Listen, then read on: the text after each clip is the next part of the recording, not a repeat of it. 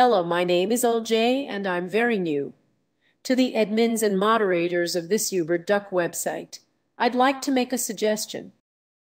I found a very interesting AI music extender called OpenAI iJukebox. This website can let you extend any song using Jukebox, but you have to head GitHub and Google Colab before you can have fun with it.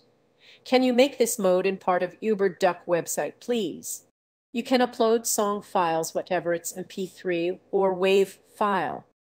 That's all I can say. Thank you for listening.